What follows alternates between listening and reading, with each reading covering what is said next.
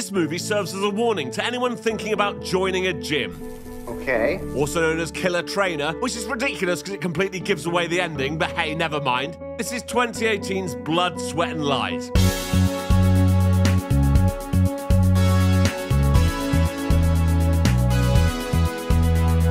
I'm Jay Harangue and I've wasted hours of my life watching terrible films. You should subscribe. This is Melissa and she's the main character. Hi. She's been with this guy Carter for five years. Then this happens. What's my favorite color? Blue. Get out. And that's the end of that relationship. Are you serious? Yeah. So after a week of crying and eating cake, Melissa's friend Leslie comes over. They start talking about how hot they were in high school and how all the boys wanted to be with Melissa. Then Leslie's like, right, enough of this. You're coming to the gym with me. No, I hate the gym. Clearly, because here she is at Leslie's gym, Global Fitness. Leslie's having fun singing and dancing on the treadmill, but Melissa doesn't like that, so she goes for the weights. Doing okay, Mel? How did you know my name? I, uh, I saw your name on the guest list when your friend signed you in. Right. This is Trey, and he's one of the trainers here at Global Fitness. He's like, How about a PT session free of charge? And she's like, Okay, thanks. So that's happening. Then Leslie comes over. OMG. Who is that? He's a trainer. Leslie's like, OMG, you should probably start having sex with him. And Melissa's like, No, I can't. The session is just her doing nothing while he stares at her, shouting stuff like, You got this in her face. But she obviously liked it because she signed up for a membership and a personal training package with Trey. The next day, we see Melissa at work. She owns an art gallery. Yes, of course. No one in these movies has a real job. They always run some sort of doomed to fail creative nonsense. Yep. Anyway, who's this cool customer? Do you see anything you like? Absolutely.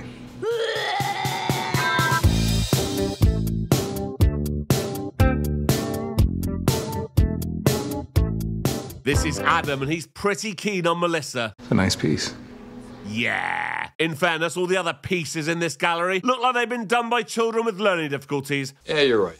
You're absolutely right. Who is going to buy that? Anyway, back at the gym, Trey's doing Melissa's assessment and wants to take a photo. Melissa's like, Why do you need that? It better not be going on social media. And he's like, No, don't worry. It's for a before and after. I'm just going to keep it in my drawer. And she's like, Okay. Trey asks her what her fitness goal is, and she tells him she wants to be able to do a muscle up. It's a very epic move. Yeah. He's like, I reckon you'll be able to do one in six weeks. Then the film shoehorns in the fact that Melissa is scared of heights. Okay. After the session, Trey gives her a fitness tracker. This tracks your calories, your sleeping pattern, how much you walk. If you give me your phone, I can set it up for you. So Trey takes her phone into his office and somehow links it to his. As Melissa leaves, she sees Leslie coming in. And Leslie's like, I've seen some men in here you might like. How about that guy, Mark? He works in marketing. Mark in marketing. Like Trey and training? Ooh, he doesn't like that. He's like, Melissa needs to focus on her fitness, not hooking up with men. Later, we see what Trey eats leaves with a sprinkle of protein powder. That doesn't look good. The next day at training, Melissa's complaining about her ex Carter. It turns out that not only did he not know her favourite colour, but he didn't even know she was afraid of heights. I have an idea. So Trey takes Melissa next door to conquer her fears. On this climbing wall, Leslie comes in and she's like, Stop it, Trey, this is really dangerous. She could die. I don't see how. But Trey's like, Whatever, I believe in Melissa. You don't. And Melissa makes it to the top. Yeah. When they leave, Leslie's like, sorry about that. I just worry about you. Later at the art gallery, Adam has come back. He asked Melissa out on a date on Saturday, and she agrees. Cut to the date, and Melissa is complaining about her ex. He thought my favorite color was blue. What? This again? Are you fucking eight years old? Unbelievable.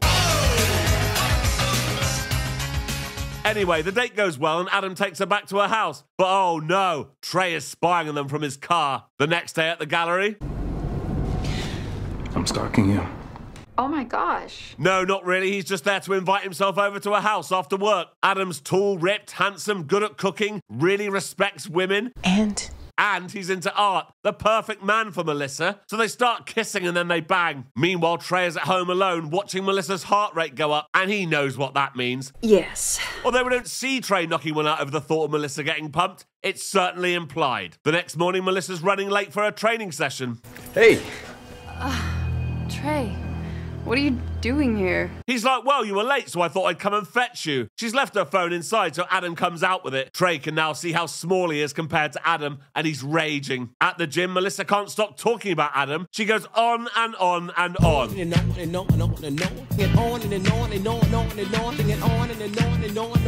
And Trey hates it. So he puts something in her water to make her pass out. Welcome back, beautiful. She's woken up in his office and he starts touching her inappropriately. It's totally inappropriate. Yes. Later at Leslie's house, Melissa says she's worried that Adam hasn't called for ages. Leslie's like, I'm sure he will. Men love you. Remember that weird fat guy from college? And Melissa's like, who? Leslie's like, you know, the one who used to leave heart-shaped notes under your door every day. But Melissa has no idea who she's talking about. I Can't believe you don't remember his name. The next day at the gym, Melissa asks Trey to put her phone away for her. While he's doing that, he sees a message from Adam come up. He replies to it by telling him to meet her at the gym at 5.30 in the morning tomorrow for a workout, then blocks his number. The next morning, Adam turns up at the gym. Obviously, Melissa's not there, so Trey starts showing off and going on about how much he loves the gym. Okay. You want to do a superset? Why not? Trey offers to spot Adam during his superset, but he doesn't. Instead, he grabs Adam's phone and blocks Melissa's number, and Adam almost hurts himself. Oh no! Adam's like, why didn't you take the bar? And Trey's like, sorry, I didn't hear you over the music. Bullshit. When Melissa arrives, Trey starts teaching her some self defense move, but it's clearly just an excuse to touch her, and Melissa feels uncomfortable. He's a creep. Later, she tries to call Adam, but she can't get through because Trey blocked her number, remember? Yes. The next morning, Melissa comes in to tell Trey she needs some time away from the gym. He's like, okay, let's just do a quick weigh in. And oh no, Melissa's put a pound on. What? Yeah. And Trey is furious. Ooh. Have you been taking the supplements I gave you? It's a pound. It's a shortcoming. I'm gonna go.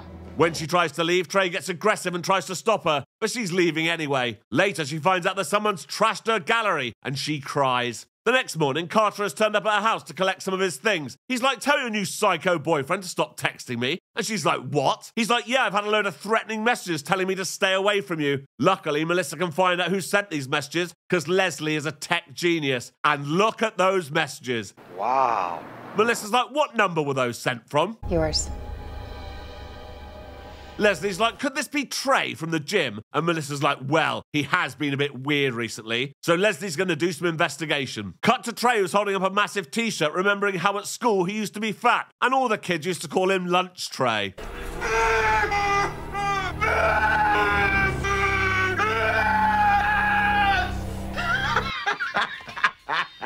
Leslie comes into the gym to snoop around, but Lunch Tray's there too, and he makes sure he's the only person in the gym with her.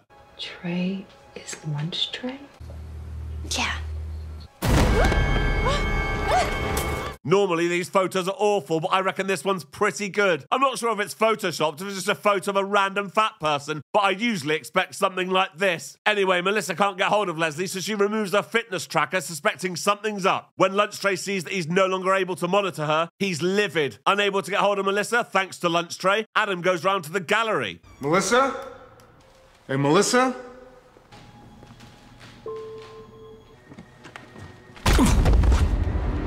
Melissa goes over to the gym and finds Leslie stuffed in a locker. She goes to call the police, but oh no, Lunch Tray is coming. He sees the phone off the hook and knows Melissa has been in there. After a bit of cat and mouse, Melissa sees Adam tied up. Lunch Tray comes out and he's like, finally, we're going to be together. It was impossible in college because I was fat, but now I'm not. Melissa objects, but Lunch Tray's not having any of it. He's like, I'll need to kill Adam first. Never. She runs away and thinks, ooh, I'll hide on the muscle up bar. He'll never think to look up here. How has he not seen her? No idea, but he hasn't. Far from me now. Yeah. So Lunch Tray is choked out and Melissa rescues Adam. But oh no! No. Lunch Tray jumps on Melissa and starts telling her what he's going to do to her. But then. At an unspecified time later, we see Melissa and Leslie walking around the gallery that's as good as new. And oh, look, Adam's here too. They're together now, yeah. Some mail has arrived for Melissa. What is this? Don't freak out. It's an everyday thing. Yeah, so Lunch Tray is serving five years in prison, and he's gone back to making notes on hearts and sending them to Melissa. You're not concerned? Not in the least. Right. And that's the end of the film. So until next time, thank you for watching this video. Please like and subscribe, and please consider joining my Patreon. There's a link in the description. Thank you.